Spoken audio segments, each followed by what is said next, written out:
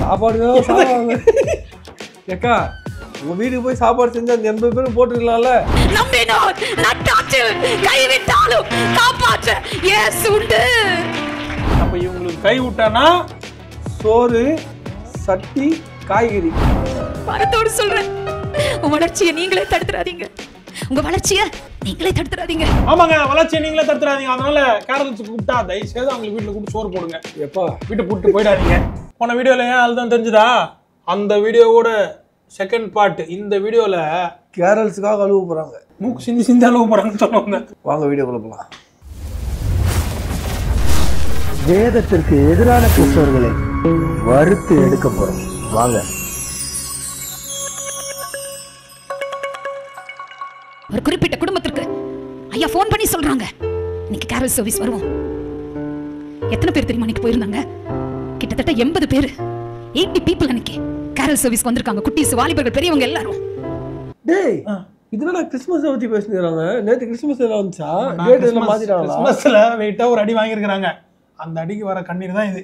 டேய் எழுபத்தஞ்சு இப்போ எண்பது இதே ரேஞ்சில் இருக்கிறாங்க. அக்கா அதுவும் கிறிஸ்மஸ் போன வருஷம் நடந்தது இப்போ வந்துருக்குறாங்க இவ பிள்ளையே அறிவிப்பு கொடுத்தோம் வீட்டை பூட்டிட்டு வெளியே போயிட்டாங்க. அறிவிப்பு கொடுத்தோம் வீட்டை பூட்டிட்டு வெளியே போயிட்டாங்க. அட பாவி. என்னடா இது? அறிவிப்பு கொடுத்து வீட்டை போட்டு வெளியே போயிட்டாங்களா? அறிவிப்பு கொடுத்துட்டு தான் வந்துக்கிறாங்க கேரள்ஸுக்கு வரோம். எண்பது பேர் கூட்டு வரணும்னு அவங்க வீட்டை விட்டு போயிட்டு ஏக்கா அறிவிப்பு கொடுத்து கொடுத்தீங்க. கம்மியான தான் வரும்னு சொல்லி தான் பரவாயில்ல. எண்பது பேர் போனா நீங்க உங்க இஷ்டத்துக்கு எண்பது பேர் நூறு பேர் கெத்த காமிக்கலாம்னு சொல்லிட்டு கட்சிக்கார மாதிரி போயிருப்பீங்கன்னு நினைக்கிறேன். அவங்க வீட்டை விட்டு போயிட்டு அந்த ஏரியாவுக்கு போயிருப்பாங்க. இல்ல இந்த வீடு தானா இல்ல பக்கத்து இருக்கு வந்துட்டோமா? இல்ல வேற ஏதாச்சும் வீடா? இல்ல இங்கதான்? அப்படின்னு சொல்லி இப்படி நிரூபிக்கிறாங்க பாரு இப்போ. கேட்ட பிடிச்சிட்டு அழுகுறேன். ஸ்டெல்லாக்கு தெரியும். சுந்தரி சிஸ்டருக்கு தெரியும். அந்த வீட்ல நான் விட்ட கண்ணீர். வீட்டுல கண்ணீர் நல்லா தொச்சிருவாங்க வீடு வீடா அழுறீங்களேம்மா. அவமானம் அவமானமா.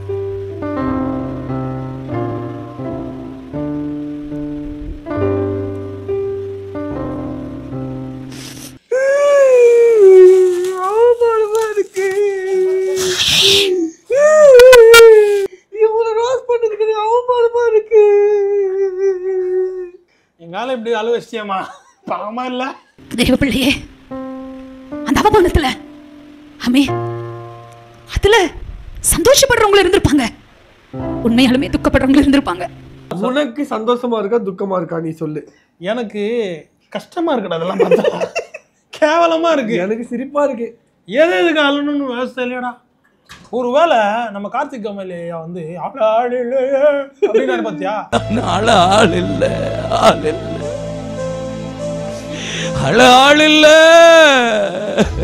அந்த ஒரு எழுப்புதல் சீல வந்தது தான் இதெல்லாம் நினைக்கிறேன். ஆனா போறேன் இந்த அக்கா போன வீடியோ அழுதது காய்கறி கொடுக்காம போயிட்டாங்க. கேரள்ஸுக்கு போறதே ஒரு அபத்தம். அதுவே எவ்வளவு பெரிய தெய்வ குத்தம். போறதே விசுவாசி வீட்டுக்கு போயிட்டு நல்லா மூக்கு பிடிக்க சாப்பிட்டு அங்க வந்து ஏசி பிறந்தாருன்னு சொல்லிட்டு கிளம்ப வேண்டியது. பிறந்தாருன்னு தெரிஞ்சவங்க வீட்லயே வந்து பிறந்தாருன்னு சொல்றதுதான் வந்து கேரல்ஸ் சரி கேரள்ஸ்ல கேரளஸான்ட்டாங்க அதுக்கு ஒரு அலப்பானியை போட்டு தாங்க எவ்வளவு பெரிய ஊழியக்காரின்னு காட்டுறாங்க பாரு. அவமானம் வந்துருச்சு. அப்படின்னு சொல்றேன். செத்து போகலாம்னு இருந்தது அன்னைக்கு. சாப்பாடு ஏக்கா உங்க வீட்டுக்கு போய் சாப்பாடு செஞ்சு அந்த எண்பது பேரும் போட்டுக்கலாம்ல? முடியாதுப்பா. அதான் போன வீடியோல காய்கறி போடுறவங்க போயிட்டாங்கல்ல. அப்புறம் எப்படி சாப்பாடு போட முடியும் பாவம். இதுக்கெல்லாம் வந்து அவமானம் அது வந்து செத்து போறோம்னு நினைக்கிறாங்கன்னா இவங்க விசுவாசம் எந்த அளவுக்கு இருந்தா ஃபேக் சேனல்ல போட்டிருப்பாங்கன்னு பாத்துக்கோங்க அவ்வளவு அவமானம். அது தாங்க முடியல. அடுத்த வீட்ல போய் பாட முடியல. சுக்கனூராய் உடைக்கிறது கிழிக்கிறது பசி எடுக்கிறது அந்த வார்த்தையை விட்டீங்களே?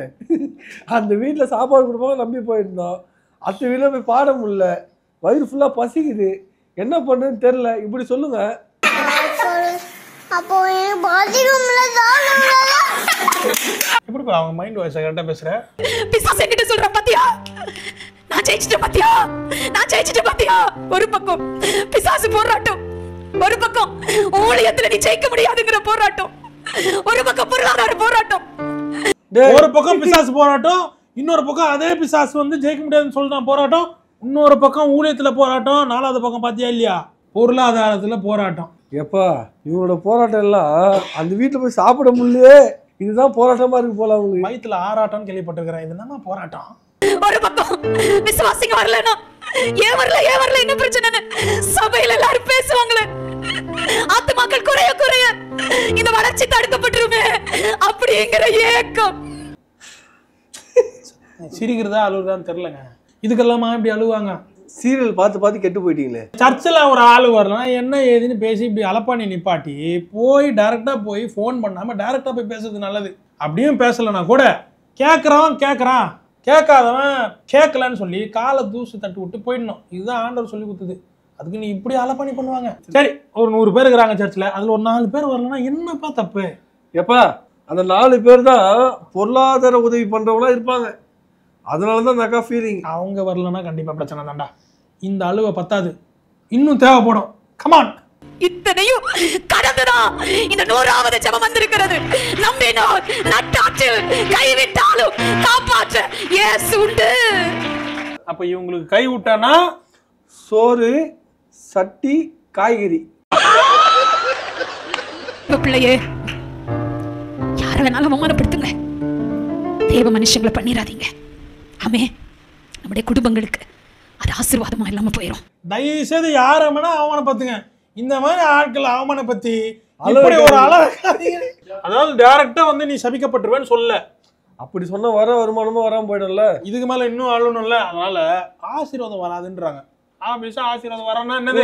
ஒரு சாபம் வரும். அப்படிப்பட்ட எங்களை புறக்கணித்த குடும்பங்களுக்காய் தேவனை துதிக்கிறேன். இவ்வளவு நேரம் அவங்கள போட்டு காலில் மிதி மிதின்னு மிதிச்சுட்டு துதிச்சுட்டேன்னு சொல்றாங்க பத்தியா இந்த அக்கா?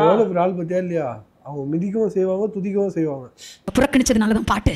அவங்க புறக்கணிச்சதுனால தான் இந்த ஜெபம். அவங்க புறக்கணித்ததுனால தான் அந்த கண்ணீர். ஆமே அவங்க புறக்கணித்ததுனால தான் எங்களுக்கு இந்த வீடியோ. நன்றிமா சில பேர் சொல்லுவாங்க உங்க சபை ஏழை சபை தானே? அப்படியே உடையும். என் சபை ஏழையா இருக்கலாம். ஆனா நான் ஆராதிக்கிற தேவன் பணக்காரராச்சே. எத்தனை பேர் ஆமீன் சொல்றீங்க? என் மக்கள் ஏழையா இருக்கலாம். ஆனா நான் ஆராதிக்கிற தேவன் பணக்காரர். அதனால தான் சபையை சொல்றேன். ச- சவாலா சொல்றேன். முன்னேறுங்க. சாதிங்க. சரித்திரம் படைங்க. வைராக்கியமா பெரிய ஆள் ஆகுங்க. இந்த மாதிரி அழுங்க. அப்பதான் இதெல்லாம் நடக்கும். சரி ஆண்டவர் பணக்காரர்னு சொல்லியிருக்கேன் இந்த அக்கா யார் பாருங்க ஆண்டவர். இந்த உலகத்தின் அதிபதி யாருப்பா? ஜான் ஜபராஜ் அவனுடைய பாட்டு தானே இது? இந்த மாதிரி பாட்டை எழுதி விட்டு இப்படி அக்காக்களை கதற விட்டான் பத்தியா? அவன் என்ன பண்ணலாம் சொல்லு. மிகப்பெரிய தொழிலதிபர்களாய் பல லட்சக்கணக்கில் கோடிக்கணக்கில் ஆலயங்களை கட்டி கொடுக்கிற நம்ம ஆலயத்தை மட்டும் அல்ல அநேக ஆலயங்களை கட்டி கொடுக்கிற ஒரு சபையாய் எழும்பு. ஆலயங்களை கட்டி கொடுக்கிறவர்களாய். ஆமே ஹalleluya. அப்பா கரெக்டாக சொல்றாங்க. பல ஆலயங்களை கட்டுறதுக்கு இவங்க யூஸ் பண்றேன்றாரு. ஆண்டவர் சொன்னது நிஜமாயிடுமோ ஒருவேளை பூமியில நீ எது கட்டுறியோ அதை நான் மேல கட்டுறேன்றாருல இங்க ஆலயம் கட்டா மேல ஆலயம் கட்டுவாங்களா? அதான் நினைக்கிறேன் போ நான். நீ என்ன நினைக்கிற? நீங்க என்ன நினைக்கிறேன்னு கமெண்ட் பண்ணுங்க. பால் தங்கையா ஜெபிப்பாராம் அப்பா என் சபையில தொழிலதிபர்களை எழுப்புங்கப்பா. என் சபையில் எழுப்புங்கப்பா. என் பிள்ளைங்களை ஆசீர்வதிங்கப்பா. பால் தங்க ஜெபிச்சா ஆண்டவர் கட்டுருவாரா? ஆமாப்பா என் சபையில பணக்காரர்கள் எழுப்புங்கப்பா. என் சபையில ஒன்றும் நிறைய பணம் வரணும்ப்பா. அப்பதான் போய் எனக்கு கொடுப்பாங்க. ஒன்றும் நிறைய பணக்காரர்கள் ஆகணும்ப்பா. தொழிலதிபர் சபையில எழும்புறதுக்கு காரணம் என்ன? தொழில் நல்லா செய்வாங்க. காணிக்கை நல்லா கொடுப்பாங்க. பைசா நல்லா சம்பாதிப்பாங்க காணிக்கை நல்லா கொடுப்பாங்க. அதே ஃப்ளோல போறாங்க பாரு இப்போ இந்த அக்கா. கிட்டத்தட்ட ஐயாயிரம் ஆலயங்களை கட்டி கொடுத்திருக்கிறார். எவ்வளவு பெரிய சாதனைங்க? எத்தனை பேர் ஆமீன் சொல்றீங்க? நாங்க ஆமேன்னு சொல்றோம். எங்க அந்த ஐயாயிரம் ஆலயம் காட்டுங்க? அந்த ஐயாயிரம் ஆலயத்தை விட்றா ஒருவேளை ஒரே ஒரு ஆளுக்கு கொடுத்த அந்த ஆலயத்தை ஐயாயிரம்னு பேசுறாங்கன்னு நினைக்கிறேன். இங்க பாரு.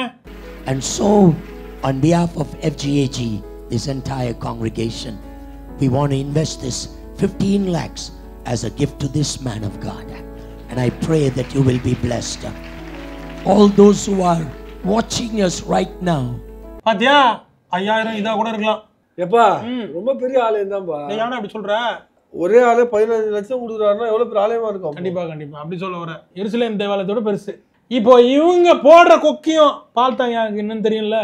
இவங்க ஆலயத்தை கொஞ்சம் கட்டி கொடுத்துருங்க ஐயா பால் தாங்க ஐயா. அந்த மாதிரி இந்த சபையின் மூலமாக இன்றைக்கு ஆவியானவர் இதை உணர்த்துகிறார் நூறு ஆலயங்களை நம்ம ஆலயத்துல நம்ம கிளை சபையில் எங்கெங்கேயோ கிராமங்களிலே இயேசுவை அறியாத மக்களுக்கு நூறு ஆலயங்களை கட்டி கொடுக்கிற ஒரு அபிஷேகத்தை ஆவியானவர் இன்றைக்கு இந்த சபையின் மேல் ஊற்றுகிறார் தட்டுங்க கரத்தை ரா பா பா தா கா ரா பா பா பா பா அப்பா அப்பா வந்துட்டாங்கடா அப்பா அப்பா ரப்பப்பப்பப்பப்பப்பப்ப.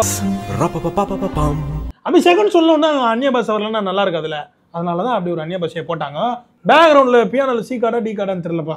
சுடுகாடு மட்டும் தான் தெரியும் என் வாஞ்சையெல்லாம் இந்த ஊழியம் எப்படி வளருதோ? நிறைய பிள்ளைங்க வளரணும். அபிஷேகத்தில் வளரணும். பரிசுத்தத்தில் வளரணும். ஒரு ஆவிக்குரிய தாயாராய். பரத்தோடு சொல்றேன். உன் வளர்ச்சியை நீங்களே தடுத்துறாதீங்க. உங்க வளர்ச்சியை நீங்களே தடுத்துறாதீங்க. ஆமாங்க வளர்ச்சியை நீங்களே தடுத்துறாதீங்க. அதனால கேரல்ஸ் கூப்பிட்டா தயவு செய்து அவங்களுக்கு வீட்டுல கூப்பிட்டு சோறு போடுங்க. எப்பா? வீட்டை கூப்பிட்டு போயிடாதீங்க. லாஸ்டா இதெல்லாம் சொல்லாம பரிசுத்தத்துல வளரணும் இது சொல்றீங்க. காய்கறி குடுக்கறதுல வளரணும். கேரள்ஸ் வந்தா வீடை வச்சு தொழிலதிபர்கள் எல்லாம் வளரணும் காணிக்கை கொடுக்கணும் இந்த சபை மூலியமா இன்னும் நூறு சபையில கட்டணும் அந்த இடத்துல இந்த மக்கள் எல்லாம் கூட்டி சேர்க்கணும் அவங்கள நரகத்துக்கு கூட்டி போடணும். இதானே ஆசை? இன்னமும் ஆண்டவர் வந்து கைகளால் கட்டப்பட்ட ஆலயங்கள் வாசமா இருக்க மாட்டேன்ற சத்தியம் உங்களுக்கு புரியல எப்பா அவன் ஒன்றும் வந்து ஆண்டவர் ஒன்றும் பிறகல ஒன்றும் வந்து பாவத்துக்காக மறிக்கல நினச்சி வாழ்ந்துருக்காங்கப்பா அதை நினைச்சிருந்தாலும் பரவாயில்ல. இன்னும் உயிர் தரலன்னு சொல்லி அதையும் அவங்க நம்பி வாழ்ந்துனுக்குறாங்க பத்தியா? உயிர் தெழுதல நம்பினீங்கன்னா இந்த உலக ஆசீர்வாதமும் உலக பொருட்களும் உங்களுக்கு அற்பமா தெரியும். உயிர் தெழுதல நம்பினீங்கன்னா இந்த வாழ்க்கைக்காக இல்லை வரப்போற வாழ்க்கைக்காக நீங்க இந்த இடத்துல வாழ்வீங்கன்றதும் தெரியும். சரி இந்த அக்கா போட்ட அலப்பாணியில என் கண்களும் கலங்கிடுச்சு. வியூவர்ஸ் கடைசியா ஒரு கருத்து சொல்லி முடிச்சிடு. நம்மளோட ஆண்டவரும் கண்ணீர் விட்டு அழுதாரு. எதுக்கு அழுதாரு? எருசலேமே எருசலேமே நீ இப்படி மனம் திரும்பாம சாக போறியே. உன்னை எத்தனை தடவை நான் நான் மன்னிச்சு என்னுடைய கரங்களில் சேர்த்துக்கிறேன் ஆனா நீ இப்படியே கெட்டு போறியேன்னு சொல்லி பார்த்து அழுதாரு. அக்கா அடுத்த வீட்டில் இந்த வசனத்தை வச்சு சொல்லி காய்கறி வாங்கி கொடுங்க. கேரல்ஸ் வாங்கி கொடுங்கன்னு சொல்லி இந்த வசனத்தை சொல்லி ஒப்பிட்டு பேசிக்கங்க.